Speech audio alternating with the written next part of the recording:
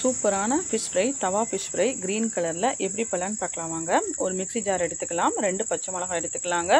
கொஞ்சமாக புதினா கொஞ்சமாக கொத்தமல்லியில் எடுத்துக்கலாம் கொஞ்சமாக ஒரு டீஸ்பூன் உப் இஞ்சி பூண்டு பேஸ்ட் போட்டுக்கலாங்க. கொஞ்சமாக உப்பு போட்டு அதை நல்லா ஃபைன் பேஸ்ட்டாக அரைச்சிக்கலாம். ஒரு த தட்டில் மாற்றி வச்சுக்கலாம்.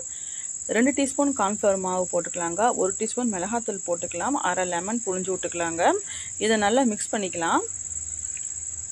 இப்போ பார்த்தீங்கன்னா நல்லா மிக்ஸ் பண்ணியாச்சு. நான் வந்து பாப்பட் ஃபிஷ் தாங்க வாங்கியிருக்கேன். இந்த ஃபிஷ்ஷில் வந்து நல்லா அப்ளை பண்ணிக்கலாங்க. இந்த மாதிரி ரெண்டு பக்கமும் இந்த மாதிரி கீரி வாங்கிக்கலாம். இது நல்லா அப்ளை பண்ணியாச்சு.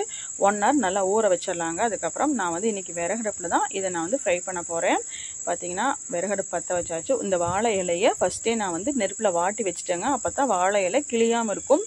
இந்த மாதிரி ஃபோல்ட் பண்ணிக்கலாங்க. ஃபோல்ட் பண்ணிவிட்டு நூல் எடுத்து நல்லா கட்டிடலாம். டைட்டாக கட்டினீங்கன்னா இலை கிழிஞ்சிரும். இந்த மாதிரி சும்மா ரஃப் அண்ட் டஃபாக கட்டிக்கலாம். இந்த வந்து தோசைக்கல் மேலே இந்த இலையை வச்சிடலாங்க. கொஞ்சமாக சுற்றி வர எண்ணெய் ஊற்றிக்கலாம் இப்போ பார்த்தீங்கன்னா அளவான நெருப்புலே நல்லா வெந்துருச்சு. பின்னாடியும் முன்னாடியும் நல்லா திருப்பி போட்டு நல்லா வேக வச்சாச்சு. பார்த்தீங்கன்னா நம்ம ஃபிஷ் வந்து சூப்பராக வெந்துருச்சுங்க.